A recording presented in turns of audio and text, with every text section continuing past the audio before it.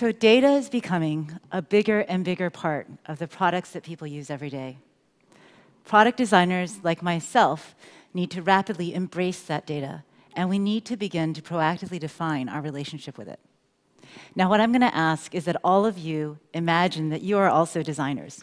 And I want us to think for a second about the difference between designing an experience in the physical world versus designing experiences in the digital world.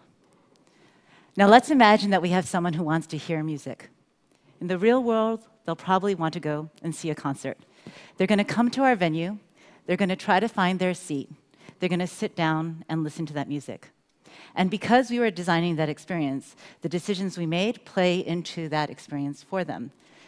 But they may have had a hard time finding parking, parking that staircase that we built to take them to their balcony seat might have been too narrow, and they had to fight the crowd to get there on time, or the band could be running late. There are so many steps and so many variables in that process that are completely out of control of the people who are ultimately responsible for delivering that music to them. And that's us, right? Now, in the digital world, the interactions, the flows, the music itself is all collapsed and condensed into a single screen, and it's usually one that you can hold in your hand. So, what that means for you as product designers is that you have so much more control, but also so much more responsibility for that experience. And because it's digital, it also means that we can collect data throughout the whole thing. So, what do we do with all this data? Data actually helps to inform us about how people are using our product along the way. But actually, data can also engage us in an ongoing conversation where it helps us to hone and refine our customer instincts over time.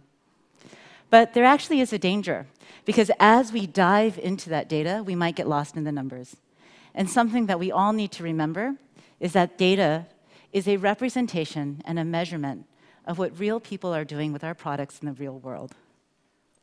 And rather than abstracting us further from human behavior, we need to think about how we can use data as a tool to actually bring that behavior into relief.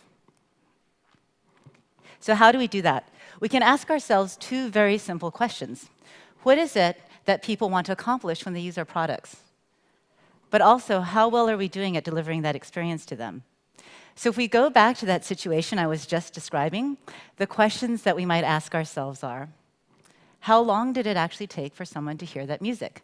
And in that concert hall, did everything start on time? How often do they come back to our venue and hear concerts again and again? And in the digital world, we can ask the same thing. How long did it take for them to actually hear music? Was there anything in our interface that confused them or got in their way? And how often are they launching our app? How often in a day? How often in a week? How often in a month? So, designers need to think about asking these questions and asking the right questions, but also then taking that data and measuring the results. And they have to be able to understand the nuances of that data. Data can then help to empower and inform the designers to help make the right decisions along the way. But we do need to remember that data and design are just two tools that we use to actually craft experiences for people. So I'm going to dive into a little example here, and I'm going to use Spotify as an example. Spotify is a streaming music service. And when you take a product like Spotify that has evolved organically over the years, sometimes you look at what you have and you realize it's a bit of a mess, right? Light, dark. The people at Spotify working on this product knew that it was a problem, and it's not like the customers liked it either. Some customers felt that the lighter interfaces were headache inducing.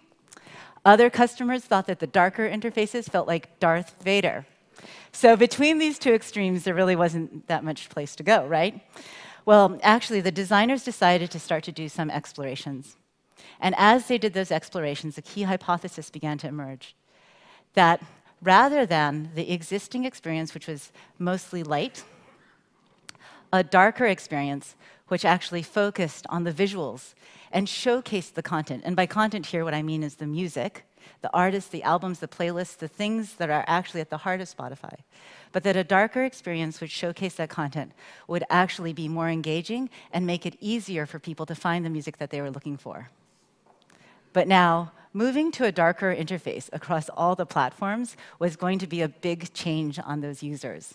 And we all know how much we love it when someone subjects us to change, right? Yeah, we love it. no, this is actually going to be a big risk. And so, what the team did is along the way, they used standard best practices, user research, usability surveys to help inform them. And to me, all of this is data.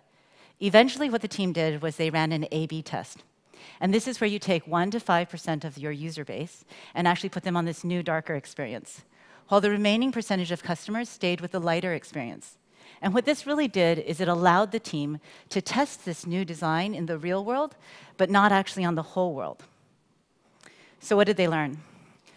Well, actually, when they looked at the business metrics, the people who are using the new design actually listened to as much or more music than the lighter interface. And when people were asked what they thought of the new design in surveys, more of them felt that it showcased the music, it brought the content forward, and in fact, they even thought that it had a broader range of music.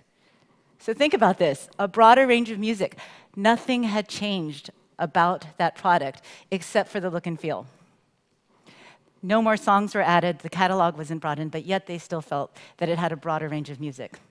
So as the team moved from this to this, data actually gave them the confidence that something that they thought was going to be a huge risk and a big change on their users was actually something that the customers wanted. And not only that, it was actually good for the business as well.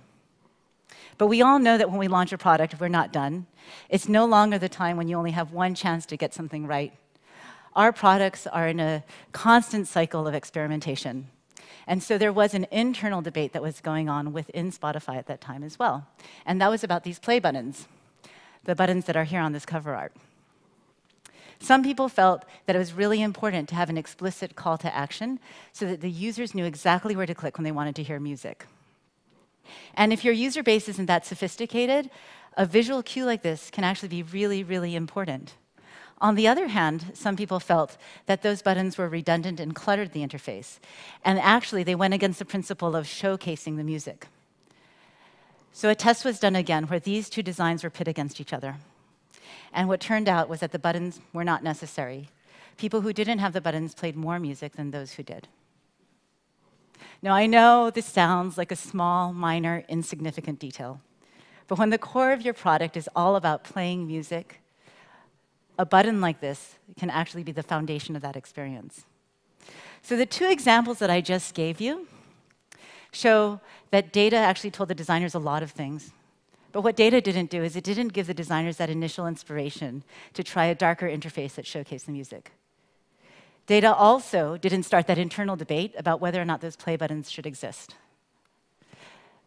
The experiences that we design define the kind of data that we can and do collect on them.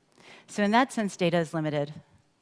But what data can actually do is inform us about how people are using our product. And what happens when designers actually take a step back and try to look at the patterns in that data over time is that they might be able to extract design principles. They might actually be able to extract something about the importance of showcasing content and simplicity. And hopefully they can take that knowledge and then apply it to future work. But data can actually tell us so much more.